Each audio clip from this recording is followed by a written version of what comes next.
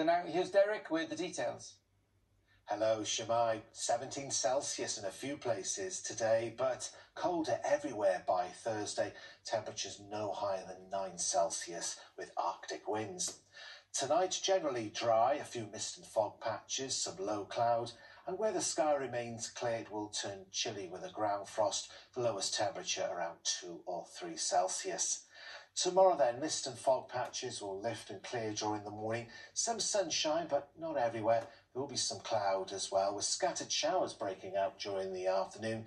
These hit and miss though, so a lot of places will stay dry. A little cooler than today, with a light to moderate breeze. Across the rest of the UK, tomorrow rain in southern England will clear.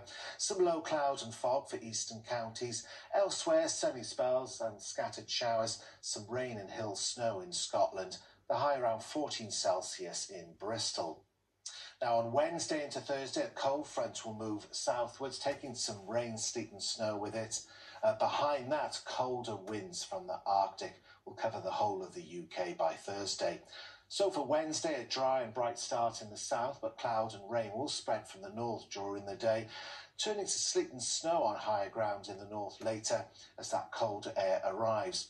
Colder for all of us on Thursday and Friday with a mixture of sunshine and a few wintry showers. And watch out for Jack Frost. Good night. And that is Wales Today. Thanks for watching. Have a good night.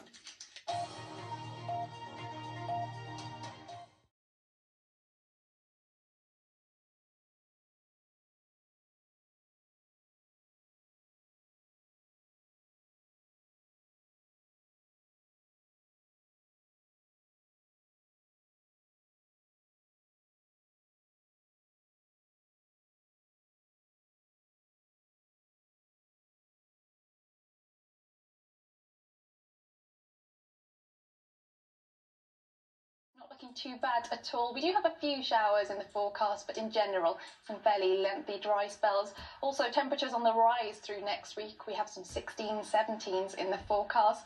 Now, today has been quite a mix. We did start off with plenty of dry and sunny weather, but then the cloud bubbled up, and so did those sharp showers. If you look closely, you'll see some lightning strikes on the map. These are mainly across parts of Powys, Cardiff, Newport, and the Vale of Glamorgan. So on top of those thundery showers, we also saw some hail mixed in. This picture taken in Neath Port Talbot. So through this evening and overnight, we'll still have some sharp showers with us, so still the risk of some hail and rumbles of thunder. A little bit of winteriness possible on the highest ground too. The wind's mostly light to moderate and a cold night too. The risk for some frost and icy stretches, especially where we've had some daytime showers. Into tomorrow then, a ridge of high pressure building in. That's going to push the air down and those showers tomorrow shouldn't be as active as the ones we've seen today. So expect a scattering of showers, then just a few locally heavy, some sunny spells, areas of cloud. The winds mostly light to moderate from the northwest, and temperatures getting up to around 12 degrees Celsius. Not too much going on through Saturday night due to that ridge of high pressure, so most of you should just expect dry, clear, and cold conditions.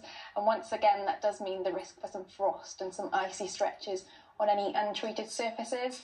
Then on to Sunday, we have low pressure out to our west, but that should stay at bay until the early part of next week, and so another largely dry day in store. Cloud will tend to thicken as the day wears on, and a change in wind direction too, so more of a southeasterly. That breeze will pick up through the day, and temperatures as a result a touch higher, up to around 13 degrees Celsius. Some rain in the forecast early next week, and then temperatures, as you see, on the rise. Have a lovely weekend. Nick. Sabrina, thank you very much. That is Wales Today. I'll be back after the uh, 10 o'clock news. Hope you can join me then. Thanks for watching. Have a good evening.